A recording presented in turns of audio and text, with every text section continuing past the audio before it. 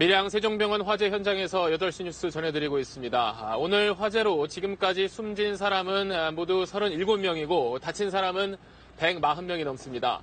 짧은 시간에 이렇게 많은 희생자가 난 이유에 대해서 박진호 현장 데스크와 잠시 이야기 나눠보겠습니다.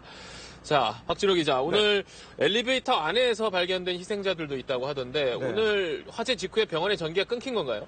그렇습니다. 원래 이 정도 규모의 병원이라면은 이 반드시 이 비상 발전기가 즉시 작동이 되어야 되는데 그렇죠. 불이 들어오지가 않았습니다. 아. 그래서 피가 컸고요. 특히 에, 당시 병실에는 이제 인공호흡기에 의존하는 중환자들이 있었는데 네. 이 호흡기가 작동을 멈추면서 손을 쓸 수가 없는 그런 상황이 네. 되고 말았습니다. 또 아, 말씀하신 대로 전기가 끊기면 근데 엘리베이터 작동이 멈추고 말았는데 당시 이제 엘리베이터로 대피하는 환자들이 상당히 있었기 때문에 또 인명 피해를 키우는 그런 요인이 되고 말았습니다. 그래서 짧은 시간에 좀 희생자가 컸던 이유가 있었겠네요. 네, 잠시 뒤에 다시 이야기 나눠보겠습니다.